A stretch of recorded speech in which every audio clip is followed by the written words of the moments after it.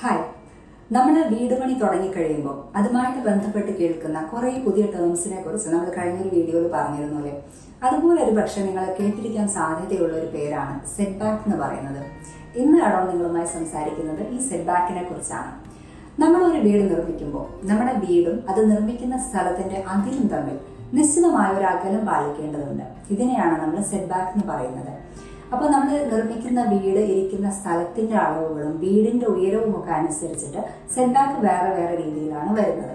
നമ്മൾ നിർമ്മിക്കുന്ന വീട് മൂന്ന് സെന്റ് വരുന്ന ഒരു സ്ഥലത്ത് അല്ലെങ്കിൽ അതിന് മുകളിൽ വരുന്ന ഒരു സ്ഥലത്താണെങ്കിൽ അതുപോലെ വീടിന്റെ ഉയരം പത്ത് മീറ്ററോ അതിൽ താഴെയോ ആണെങ്കിൽ വീടിന്റെ മുൻഭാഗത്ത് സ്ഥലത്തിന്റെ അതിരിൽ നിന്നും മൂന്ന് മീറ്റർ അകലം വിട്ട ശേഷമാണ് വീടിന്റെ ചുമര് നിർമ്മിക്കേണ്ടത്.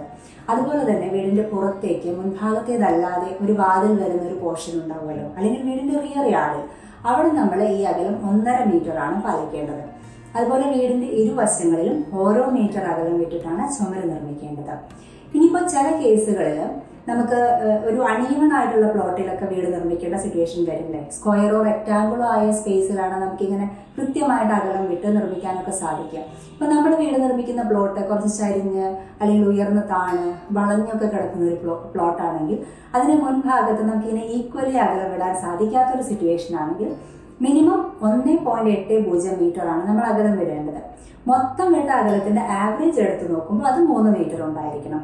ഇതേ കേസ് റിയർ യാർഡിലോട്ട് വരുമ്പോൾ മിനിമം ഒരു മീറ്ററും ആവറേജ് ഒന്നര മീറ്ററുമാണ് നമ്മൾ കീപ്പ് ചെയ്യേണ്ടത്. പിന്നെ ഒരു കേസിൽ നമുക്ക് വീടിന്റെ ചുമര് സ്ഥലത്തിന്റെ അതിരിനോട് ചേർത്ത് നിർമ്മിക്കാവുന്ന ഒരു പ്രൊവിഷൻ ഉണ്ട്. അതിന് നമ്മുടെ വീടിന്റെ ഉയരം ഏഴ് മീറ്ററോ അതിൽ താഴെയോ ആയിരിക്കണം. പിന്നെ അങ്ങനെ നിർമ്മിക്കുമ്പോൾ ആ അതിരിന്റെ തൊട്ടടുത്ത് വരുന്ന സ്ഥല ഉടമയുടെ രേഖാമൂലമുള്ള സമ്മതപത്രവും നമുക്ക് ആവശ്യമായിട്ട് വരും.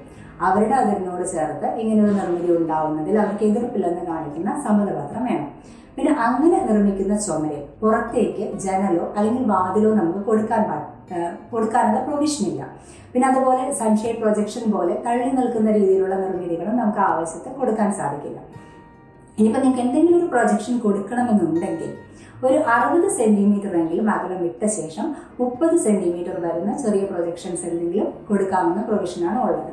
ഇത്രയാണ് മെയിനായിട്ട് നമ്മുടെ വീടിന്റെ അതിരുകളിലൊക്കെ വരുന്ന സെറ്റ് ബാക്കുകൾ ശ്രദ്ധിക്കേണ്ട കാര്യങ്ങൾ ഇത്രയാണ്.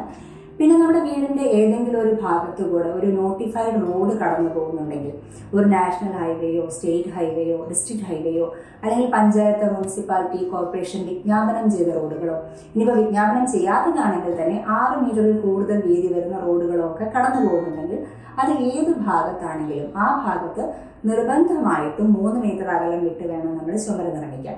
ഇനിയിപ്പോൾ വിജ്ഞാപനം ചെയ്യാത്ത റോഡാണ് ആറ് മീറ്ററിൽ താഴെയാണെങ്കിൽ രണ്ട് മീറ്റർ അകലമാണ് നമ്മൾ വിടേണ്ടത്.